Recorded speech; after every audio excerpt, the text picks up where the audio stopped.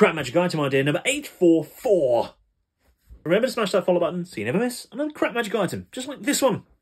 Dorian Gray's Scroll of Fireball. This incredibly powerful but slightly dodgy uh, scroll, I mean, like everything really that I tell you about, but anyway, this particular one allows the user to cast Fireball. Once per day, they can choose to cast it.